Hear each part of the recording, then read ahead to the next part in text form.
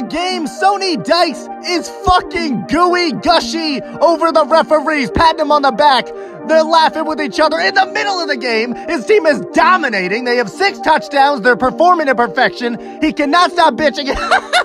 and here comes the fucking Undertaker as he's going to talk to the refs and bitch again.